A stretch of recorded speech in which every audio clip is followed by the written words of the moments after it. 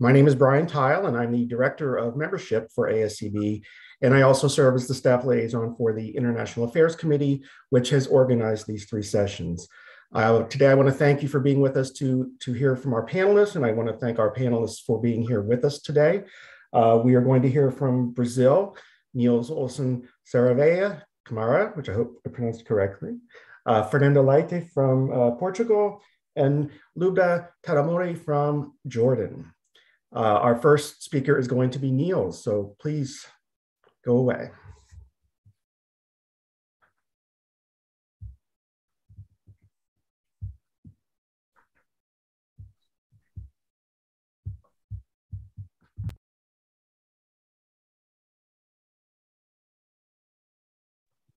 Okay, so thanks, Brian. Um, thanks everyone for this nice invitation. It's a pleasure to be here today and present some um, data information about my university. So my name is Niels Camara. I am a full professor of immunology. For the last eight months, I am working as a deputy provost for graduate studies at the University of São Paulo. Uh, the University of São Paulo is uh, um, the biggest university in South America. We are well ranked in uh, uh several ranks um, that measure this activity of this university, like QS, THE. Uh, we have around almost 100,000 students if you consider the undergrad and graduate students, and more or less 5,000 staff. We are divided in eight different campus um, in all the states of São Paulo. They're here in the southeast of our country. Uh, the University of São Paulo have more than 40 eight libraries, we have four hospitals, and we are divided in units that we call institute, college, and museums. If you consider just the graduate students, uh, here in Brazil, in our university, uh, the, the, the, the students are dividing programs. So USP has a huge number of programs, 267 programs, and we just finished uh, four years evaluation, and we are having more than 50% of these programs that are considered excellence. They have uh, an international uh, visibility and um, competence in the research and training that they do. We have in just in the graduate studies around 30,000 students. And since the beginning in the 17s, we already graded 165,000 titles for master and PhD. These programs here, they are divided at least five main areas um, that we use them to select the students and to offer disciplines and uh, fellowships and uh, uh, uh mobility abroad and inside Brazil. We call translational plant and animal science, health and disease, earth and space, art and humanities, and technology. Uh, USP in this um, year, we have a new chancellor, and we are discussing how much our work here uh, should be connected to the SDG. So uh, if you consider these last more or less 10 years that we are working here at USP, we see that the university is producing a high quality research in at least four different um, goals, like zero hunger, affordable health, life below water, and life on land. So this is very important because uh, uh, all projects that we are uh, designing and do, doing here must be connected to this SDG, and uh, uh, this must be something that we are going to do for the next four years uh, in this term of this new chancellor. So we are very much um, interested in giving to the students uh, a way that their project in master and in PhD must be connected to a global question or society questions here in a country like Brazil that uh, needs so much of the university to deal with some challenging uh, uh, that we face here. So this idea is now our key mode uh, to guide uh, what we are trying to, to do with these uh, students. So we wonder we want them to connect uh, the project with the society and to have a very uh, multidisciplinary and dynamic project. To do this, we are just connected with several other offices here at USP, the international office, the research office, uh, and also the intellectual uh, property agency that take cares all these issues related to um, uh, entrepreneurship. And also we are connected with some companies where the students can actually do part of their uh, their study in a private session. With this, uh, they can actually be more close to the society. So in this idea, we think that uh, this new way to that the PhD and the master students should look to their projects is giving them new abilities. And we are um, making a lot of effort to to teach them uh, some innovation leadership to so they can acquire some intercultural competences here at USP and also connected with other university, uh, some soft skills, and most importantly, they know how to communicate with society. Society needs to know and to understand what we are doing here uh, in closed doors in our unities and uh, in their labs. So we are very happy that we start a project together with QS, Exeter, Hong Kong, Chinese Hong Kong University, Stellenbosch, and Auckland. Um, be part of a project that is called Future 17, that is part of the we are trying to do with these new students where they can the students can form teams and then can answer questions from the sdg uh, and after three, four months, they can come up with an idea uh, how to figure it out on problem that comes from company, but also comes from society. So this is just an idea, the way we are looking now uh, uh, in this um, uh, for these students. So as I said to you, USP is a very comprehensive university. We have more than 267 programs. They are divided in humanities, life science, engineer, law, social science. Um, every year we have some program that can be a new program or some other program that just fuse in a different program. That's why this number sometimes is variable, but in all areas of knowledge, and as I said, most of them have a degree of excellence. And it's very important that here in Brazil and especially in São Paulo state, we have some uh, agency that can actually fund students to come over uh, and do some research here in Brazil. CNPq and CAPES, they are a federal agency. They have opportunity for students uh, uh, for postdocs, PhD uh, uh, uh, here in Brazil, and sometimes also master students. FINEP is also a state university. They actually pay and support the projects and the infrastructure for projects. Uh, in the state of São Paulo, have a very strong agency called FAPESP. FAPESP is very keen to, uh, to support foreign students to come over in Brazil to do their PhD here, master and postdoc. So they have a fellowship that covers everything, health insurance, um, uh, travel expense, and the stipendium, the monthly stipendium here. And here at USP, we have an agreement between FAPESP and the university to receive students that they can use the GRE uh, scores, uh, uh, and with these scores, they can actually enter in any PhD program here uh, at USP just doing the same thing that they do for other university. And they, if they manage to do this, they can, they receive a four years fellowship from FAPESP. So this is also something very interesting. So we believe that uh, USP is very attractive for foreign students because we have some expertise uh, uh here in the region, South America, Latin America. And here are some examples that we uh, made very good progress and we have this international visibility like the last uh, endemic uh, by Zika virus. Now in coronavirus, we were one of the universities that published the highest number of papers on coronavirus.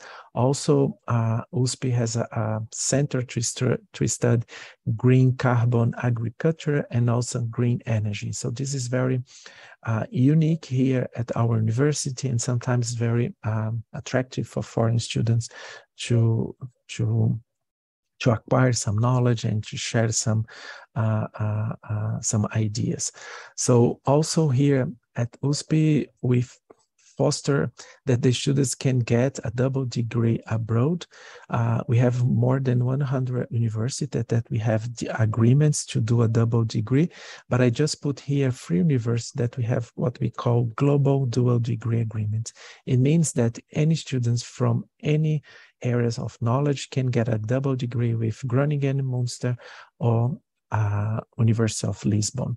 So this is very interesting. We have now, uh, this is a major uh, issue that we are fostering and um, working to have more universities uh, to do this double degree. Uh, so we are in all social media. Uh, we can find some information in our website, or you can actually also email us, and we'll be happy to to discuss and send some uh, information about the university. Thank you, Brian. Great, thank you very much. So uh, we're definitely have time for questions. So if anybody has any questions, please do uh, post in the Q&A uh, button down at the bottom, the lower uh, part of the screen. And uh, we'll certainly have opportunities for questions. While people are posting their questions, I, I have a, a, couple of questions to start. You know, is there, to what degree is there a, a language barrier of people who do not have the native speaking of Portuguese and they're coming to the country uh, can you discuss that a little bit? Very good question, Brian. Indeed. So uh, Fernanda and I, we have this in common. So in Brazil, uh, the language is Portuguese. So most of the disciplines and course are taught in Portuguese. But for the last five years, we are supporting disciplines and uh, that were teaching in English. So you can find here in any program some disciplines that we can, the students can uh, attend the disciplines and they'll be uh, in English. If you go to the labs and unities, you can speak English uh, fluently. So this is not a major issue. But it, uh, still the percentage of disciplines uh, that are uh, offer in English is, is, still less than, of course, in Portuguese. But USP is increasing uh, annually the the list of disciplines that can actually the students can uh, uh can just do while they're doing the master the PhD. I forgot to tell you, but it's a nice opportunity to, to say that um, we have, as I said, 30,000 students in master and PhD, and we have around 8% of them from abroad. So this is a it's not a, a huge number, but it is increasing year after year. So we are just getting better to receive those students here. Great. What what about outside of the university? Um, yeah. So uh, if you consider São Paulo, São Paulo is the biggest university, uh, the biggest city here in Brazil. is a cosmopolitan city like New York and so on. So you can use, uh, uh you can speak English and you can find uh, yourself in the city with no problem. Uh, transportation, you can see double language, in Portuguese and English. So uh, specifically in Sao Paulo, this is not a, uh, an issue. Absolutely. Uh, is there a particular timetable throughout the year that is best to apply for things? Yeah, very good question. Most of the programs they have uh, for the master students, they have twice a year uh, open uh, calls for the master. For the PhD, uh, you can actually be enrolled any time of the year. As well, uh, you can ask for a fellowship from FAPESP. This is the best fellowship. It's almost twice uh, the as the fellowship from CAPES or CNPq. And the fellowship from FAPESP, you can actually ask when you are abroad and if you receive the fellowship for FAPESP, we actually pay your travel to come over, and you can ex, uh, you can uh, start the process anytime a year. So there is a continu continuous flow. I mean, anytime. Great. And we do have a question from the audience. Uh, is a research proposal required for PhD cancer biology? Yeah.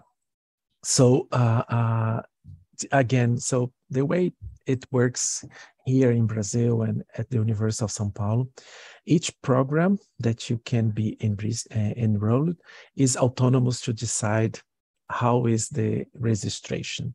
So normally uh, uh, we request some uh, uh, that you have a, a, a, a, knowledge in the area and you can discuss with a potential supervisor about a project, something like this.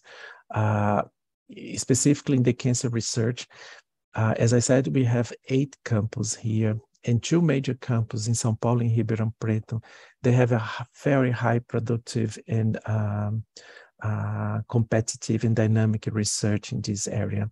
So, but anyone, um, each one, they have specific uh, uh, requirements for the students. So we need to connect with them to say what are the specific uh, issues that each program um, are asking for the students. Thanks. Uh, one final question for me is uh, how competitive is the application process? What, what percentage of applicants from outside of uh, Brazil are accepted into programs? So again, thanks, Brian. So when you apply for a fellowship from FAPESP, you're going to be judged in three levels, your supervisor, uh, your CV, and the project.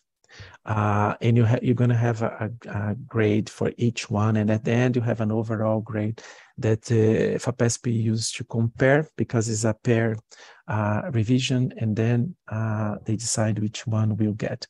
Today, uh, for a, a, a PhD uh, student, is around 33% of chance to get it. Is higher than any other of this agency that we see abroad from US and Europe is still very high. So uh, if you come up with a very nice idea, if your idea is uh, innovative, uh, uh if you have a CV uh, with some articles, presentation in Congress, something like this, so you're going to be very competitive, but you're going to get it. Uh, you just have to present a very strong uh, proposal in these three main subjects. Great, and we actually do have one more question from the audience. Uh, is there an age limit that can apply? No limit. Uh, there is no age limit. So you can apply if no no problem. The only thing here that FAPESP, specifically FAPESP, has a problem with age that you can only apply for a postdoc from FAPESP uh, up to seven years after your PhD. After that, you, you are no longer able uh, to apply for a postdoc, but not PhD or master, okay? Great. Thank you very much, Niels. Thank you, Brian. Thank you. Okay, next we're going to hear from Fernanda from Portugal.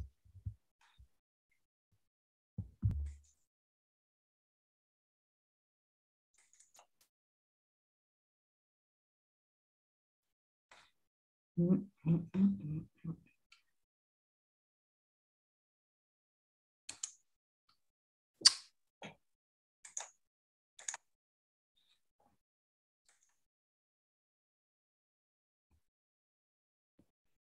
Okay. Um, as a member of the International Affairs Committee uh, from the American Society for Cell Biology, ASCB, I want to thank uh, Brian and uh, the ASCB for inviting me to speak a little bit about Portugal and research in Portugal in cell biology. Uh, I want to say hello to the other panelists, Niels Olsen and uh, Lubna Tahtamouni, and the, the, rest of the audience. Thank you. So Portugal is a European country with, uh, uh, after the latest United Nations data, with more than 10 millions of population. Uh, we have a median age of uh, 46 years old and 60% uh, of the population speak a second language, mostly English. Um, from the main Portuguese universities with undergraduate programs and uh, R&D institutions in science and health, the two best uh, universities in Portugal ranked based on their research performance in biology is in first place uh, the University of Porto and second place uh, the uh, University of Coimbra. The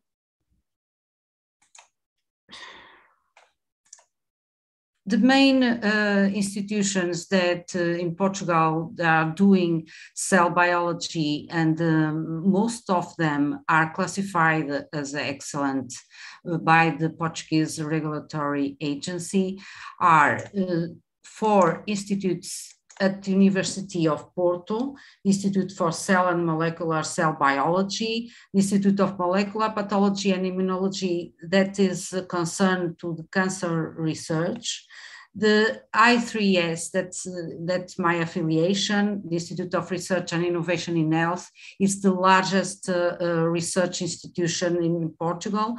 is a clustering of research that uh, we have uh, uh, shared goals and shared interest in, health research and we empower the technology and share technology and expertise in different uh, fields of science.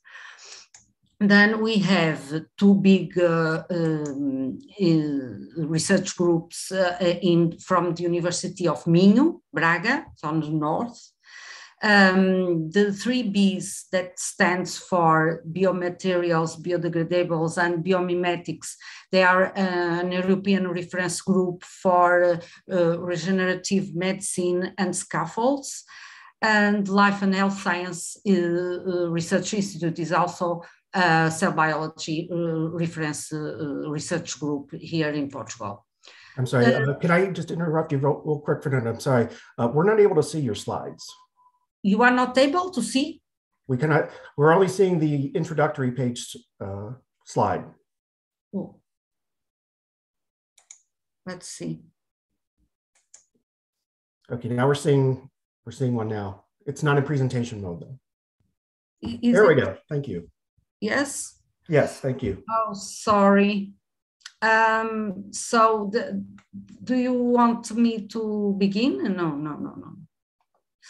Okay, so I was uh, speaking about uh, now from the University of Coimbra, we have the Center for Neuroscience and Cell Biology, and uh, we have four institutes in Lisbon from the University of Lisbon, the Institute of Molecular Medicine, the Chemical Biological Technology Institute, the Science Gulbenkian Institute, and Champalimaud Foundation.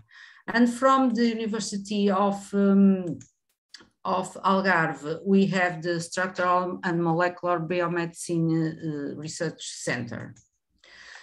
Considering uh, doctoral training in cell biology uh, PhD programs, we have uh, seven programs. Three of them are from the responsibility of the University of Porto, the first one that we see here is a partnership uh, between a, a public uh, medicine faculty and the science faculty of the University of Porto. And this, uh, the genetics and, uh, and molecular medicine and oncology programs, PhD programs, are from the uh, Faculty of Medicine of University of Porto. Coimbra uh, from the Neuroscience Center, Research Center, is responsible for the experimental biology and biomedicine PhD studies. And um, uh, in Lisbon, we have three more PhD programs uh, from the responsibility of the Gulbenkian Institute, from the um, uh, Chemical and Bio, Biological Technology Institute, and from the Molecular Medicine Institute. Uh, this is a website, it's a, a, search engine for um, uh, uh, scholarship and uh, research jobs. And if we can put a keyword like postdoc study in cell biology and choose Portugal, we have this uh, interface and we know that we have three positions for postdoc, um, uh, in, one in Champalimaud Foundation, another in the Faculty of Engineering of University of Porto, and another in the, the science, the Gulbenkian Institute. Um, considering funding, uh, we have national funding and European funding. Uh, the national funding is uh, can be public or private. The public is uh, uh, related to the Portuguese Foundation uh, to Science and Technology, the FCT, that covers all the scientific domains and is under the responsibility of the Ministry for Science, Technology and Higher Education. Considering private uh, uh, funding, we have the most important BIAL Foundation. We have the partnership between the Portuguese government and the American government, the Fulbright and the Luso American Foundation. Uh, we have the Portugal 2020, uh, the Pfizer Portugal, the Calouste Gulbenkian Foundation, Champalimaud Foundation, and the Foundation La Caixa in Portugal. European funding, we all know that we have EMBO, the European Molecular Biology Organization, that is a partnership also to, the ASCB. The uh, Cancer Research European also gives grants uh, supporting researcher independently of their nationality or age to pursue uh, frontier research. We have the Marie Curie actions. They are available uh, to the researchers regardless of uh, field of research and um, the Joint Research Center, that is a, a directorate, I'm sorry, general directorate of, of, the European Commission that employs scientists to, to uh, um, perform research and to give answers and support the European uh, Union policy. Um, Access Portugal and Science Portugal, they are portals, uh, the websites with centralized information on available jobs, opening calls, and science initiatives. Uh, they give supports uh, even for researchers that are moving to or from Portugal and to their families also to stay in Portugal. The 10 top reasons for choosing Portugal and this is an image of a rat cardiomyocyte. Um, this is the best European residence program for non-European investors. We have a minimal stay requirement after five years. It's possible to obtain the permanent residence uh, or the citizenship. Uh, we have a 10-year tax exception uh, for the um, non-Portuguese source income and is one of the top countries to buy and own real estates. Um, we have uh, several awards for best destination by the World Travel Awards and the best country in Europe and North American for immigrant integration after the score of MIPEX uh, 3 um, good roads, telecommunication, and we have, uh, have the, the 12th best health system worldwide according to the uh, WHO. Uh, very high quality of life coupled with low cost of living. Uh, as I mentioned before, a highly educated population, more 60% of our population speak second language, mostly English. A gateway to uh, 280 million uh, Portuguese speaking people and a very peaceful and safe country. This is the third uh, peaceful worldwide according to the Peace Index, uh, Global Peace Index uh, score. Thank you. Thank you, Brian and Doc. Oops. Okay, great. Thank you very much, Fernanda. Um, so again, questions were welcome in the in the Q and A tab at the bottom. Uh, let me ask you first, uh, Fernanda, how difficult is it to obtain public funding in Portugal? Um, is it very difficult? It's not easy. Uh, in the year of 2021, we had a rate of 8.7% uh, of the approval uh, of the projects approved. Uh, I've been awarded, uh, but it's not very easy. It's very, very complicated because um, it's a very competitive uh, application. So we had uh, more than uh, 4,700 applications and only 555 projects were approved by the FCT. It's the public, it's a little bit complicated, but it's more easy uh, to the private to, to have good uh, funding, but it's not uh, very, uh, yes, public, it's not very easy. How much does it cost for a PhD program? Um, uh, for the cell biology pro, PhD programs, uh, it's uh, 2,750 euros per year. I, I mean, uh, annually. And every year, the four year PhD program, uh, it's the same because in other countries, for example, in the United States, in Harvard, the two years are much more uh, costly that that than the, the third and fourth year.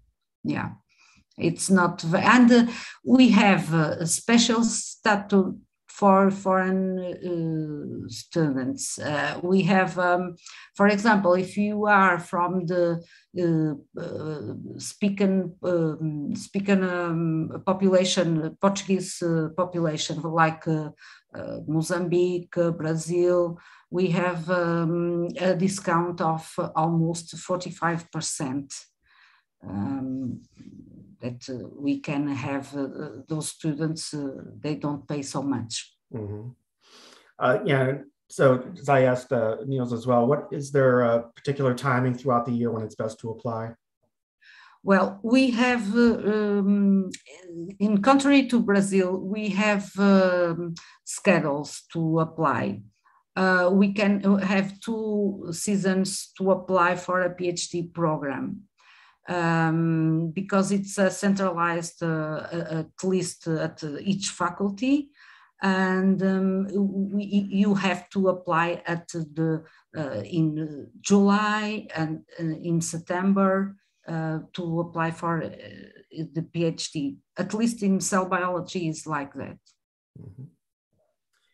And what about the language barrier issue? Um, no, it's not a barrier because, for example, I give classes uh, to the faculty, and my classes uh, sometimes I have to speak all in English because there are some students that are not speaking. Uh, we have already Ukrainian students. I have already Ukrainian in my classes that comes from Ukraine, from uh, running from the refugees. They are refugees and I, I must speak in English for them and uh, everyone understands because all the students uh, they read English they study in English and my slides are in English all the time. And so uh, th there's no barrier no. And in the lab everyone speaks in English. The person the staff that are related to it science and research is uh, it's normal. Okay Great. Thank you very much, Fernanda. Yeah, thank you. Thank you. Okay, our, our next speaker from Jordan is Lubna.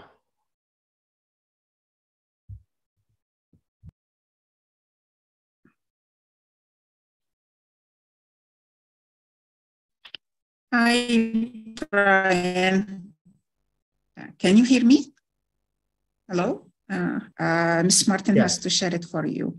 Okay. Yes, we can hear you. Okay. Can you see my screen? No, you are breaking up now. Oh, we could see your screen. You can put it back up. You may just need to turn your camera off for a second. Oh, okay. So, um, Ms. Oh, okay, you can. Okay. Oh yeah, I will.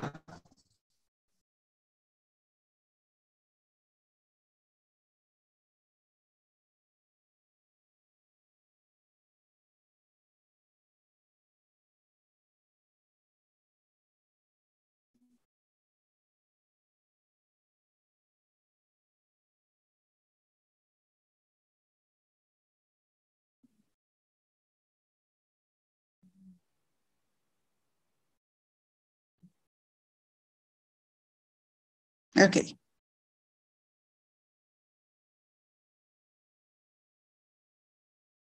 Um, can you see it now?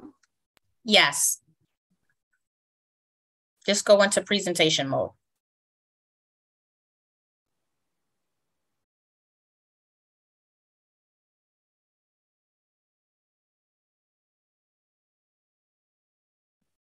Okay. Um, so uh, I'm not sure. So, so because this is not my, my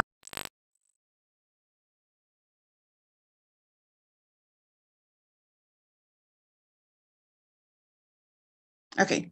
Um, so um, thank you for ASCB for hosting this. Um, uh, as Brian mentioned, I'm from Jordan. Uh, I, this is how I like to uh, start usually is by pointing out where Jordan is. It's a very, very tiny country in the Middle East, but this is uh, this webinar is very interesting for you know sharing uh, uh, experiences from researchers from Europe as well as from Americas as well as in Jordan. Um, so Jordan is a very, very tiny country.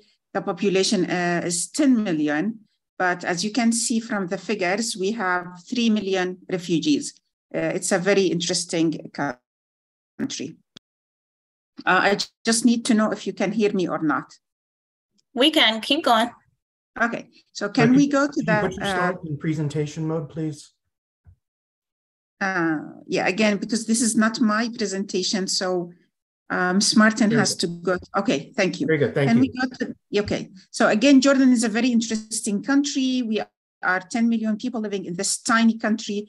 But the figure, as you can see, we have 7 million Jordanians and 3 million refugees, which put a lot of economic burden on, uh, on Jordan. Next slide, please. Okay, um, it's a very young country. 30% of the population is under the age of 30. Uh, only 3% um, are considered senior, so over the age of 65. It's a very, very young, uh, very young country. But again, it's it's under a, a lot of economic uh, burden. Next slide, please. Um, we cherish education.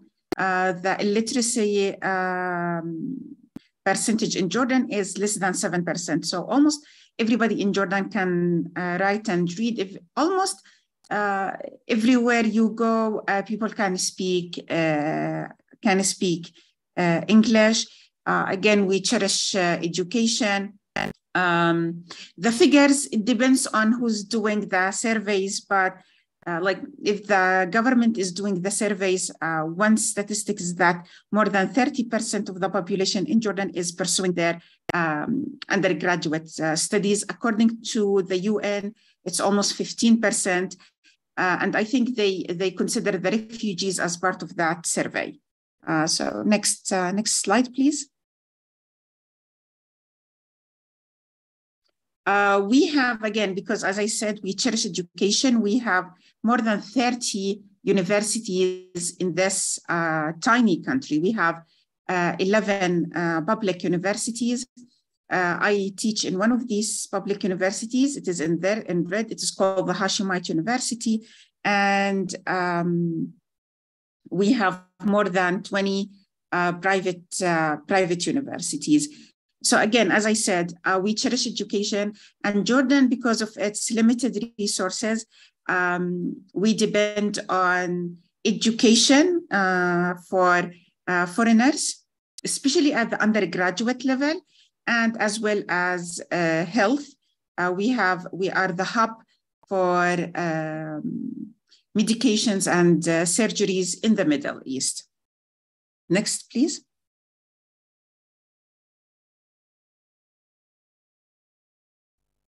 Oh, the other way. Okay. Yeah. So again, more than 20. Um, yeah. So um, let's focus on the let's focus on the PhD.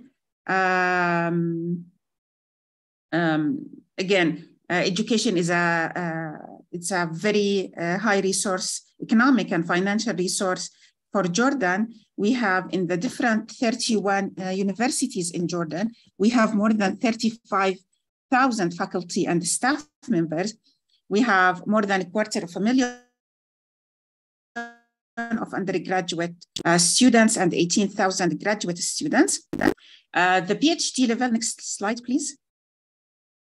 At the PhD, um, no, next, yeah. At the PhD level, this is where we fall short. Um, only a few universities uh, in Jordan offer PhD uh, programs and mainly in humanities. For example, in biology, uh, there is only one university in Jordan that offers PhD programs. Uh, my university does not offer PhD programs for different reason we can discuss this later, but this is where we fall short. So we offer undergraduate programs, a lot of undergraduate programs. We offer many, many master degree programs, but we fall short in PhD, very few PhD programs like in biology, math, uh, physics. Only one or two universities in Jordan offer PhD programs. Next, please. Um, again, as I said, uh, education uh, is a, a, huge economic resource for Jordan. We have more than 44,000 international students in Jordan, but again, 90% or even more than that, 90, I think 94% of these students are pursuing their undergraduate, not graduate degrees. Uh, next, please. Thank you. Um, now let's focus on, on research. Uh, Jordan, just like the other Middle Eastern uh, countries, uh, except for, uh, for uh, Israel, uh, and I'm not sure even if it is considered in the Middle East, maybe geographically speaking, um, we, of course, we fall below the world expenditure on research and development. So I have some figures for you in 2002. The uh, how we spent on research and development, and we are talking about all levels of research. We are talking about basic, applied, and translational, only 0.34% versus 2% worldwide. Uh, the percentage increased, but not that much over the years.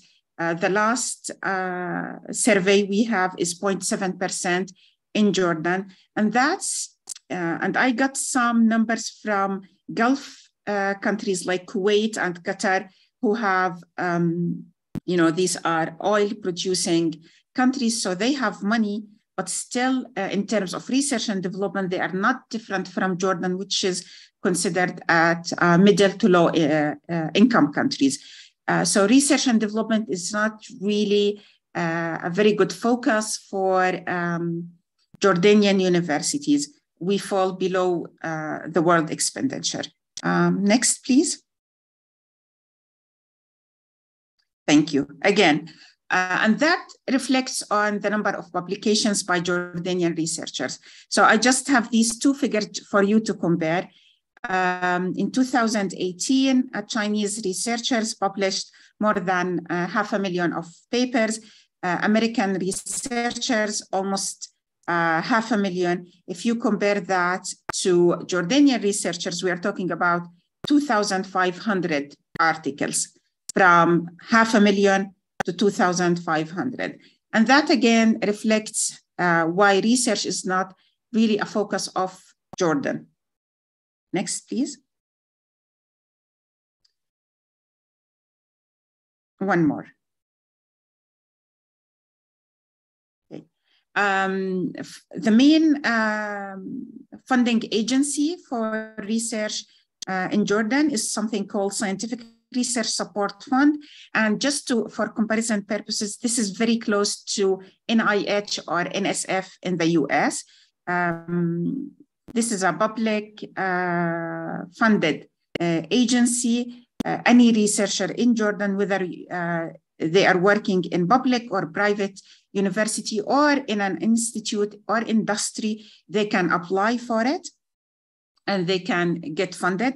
Um, again, uh, once we are done with this, you can ask me uh, if the money is the problem. Uh, I can assure you that money is not really the problem behind uh, weak research and publication. Next, please. So in addition to this scientific research support fund, we have privately funded uh, organization or institute. Uh, one of them is Abdul Hamid Shoman Foundation that support research.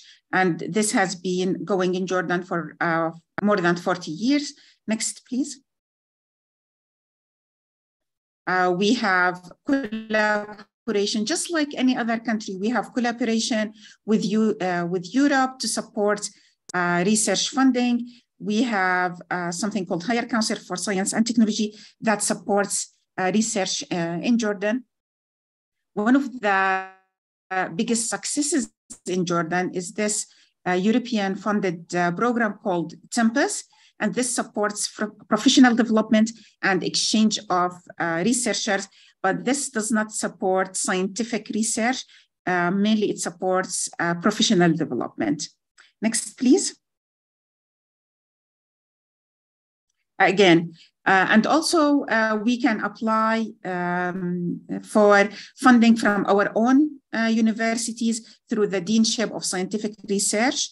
Uh, every university in Jordan, whether we are talking about public or private, um, they have this deanship of scientific research. You can apply for it uh, and you can get uh, funded through the deanship of uh, scientific research. So money is not really uh, an issue.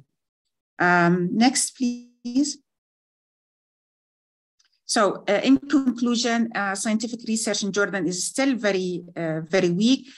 funding is very, very competitive, but money is not really the issue. It's um, the issue is more of bureaucracy.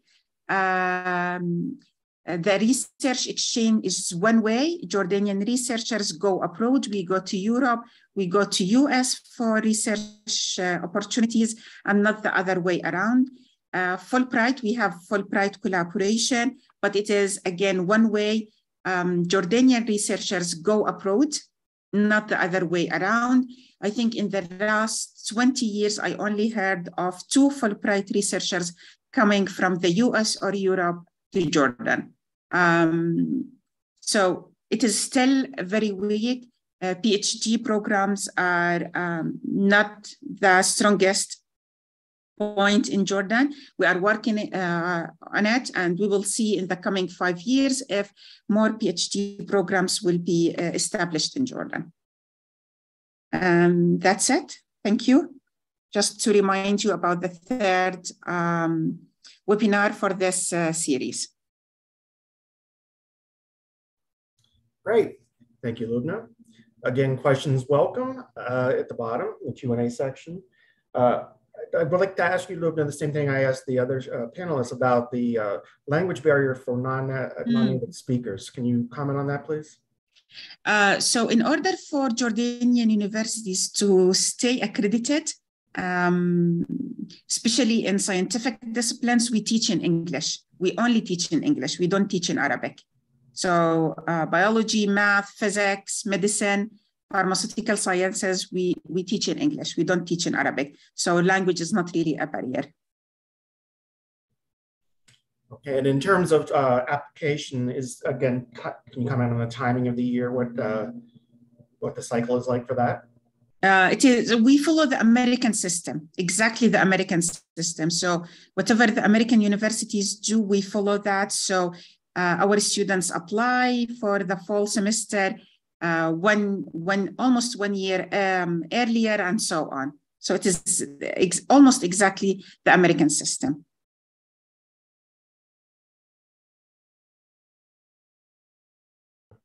Okay, thanks. And uh, you mentioned that there are uh, a, a, number of non-nationals that are are there. Uh, can you comment on the the competitiveness of the applications those coming from outside of Jordan? Yeah. So um, right now we have we are hosting like my department, the biology department at the Hashemite University. We have a Fulbright scholar who is working right now at the department. Um, you know, with Fulbright, you need to apply at least two years earlier from the time you wanna you wanna start. Uh, it is not really that hard. It is not that difficult. We um, uh, we encourage everybody to come, and that would give us so that we can start this two-way exchange. Because as I mentioned, it's a one-way. right now. Jordanian researchers going abroad, but in order to increase the focus on research and development in Jordan, we need researchers from abroad to come over. And we uh, encourage researchers to come over. We can, our university will pay their uh, salaries and they can support their research. Okay, well, that all sounds very good. Thank you very much, Lubna. Uh, so that is the conclusion of our panelists today. Uh, again, I want to thank uh, Fernanda and Niels and Lubna for being with us today as speakers. Uh, thank you as an audience uh, for participating with us. Uh, we do have one final question from the audience to the to Niels from Brazil. Is international workshop and conference attendance financially supported if you are a PhD student? Very good. Thanks for this last question. Yes, um, and we have quite a lot of opportunity to have these students among us. So again, each program, they usually have winter or summer school where the students can come and we can pay uh, for this short visit here in Brazil. Uh, and this is very welcome here. Um, as the Lubna said, we also have, and I forgot to mention, some fellowships from our own university. Most of them go to postdoc position, but uh, we are about to open position for PhD also that can be paid by the uh, university. So, yeah, very nice. Great. Thank you very much. So again, concluding today, uh, please join us for our third and final uh, webinar in this series, which will be on November 15th. Uh, that's going to be India, Switzerland, and the United States. Thank you very much. Have a good day.